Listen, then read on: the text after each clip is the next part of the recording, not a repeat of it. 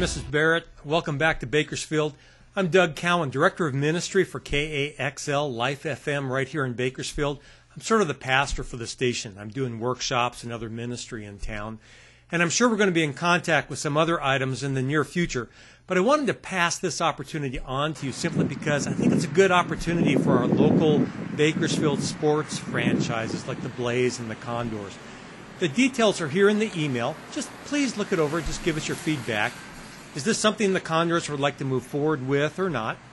I'm just thinking that the association with our station, San Joaquin Hospital, and some of the other underwriters of ours just might be a good thing for the Condors as a franchise as you're moving forward aggressively at reaching into Bakersfield.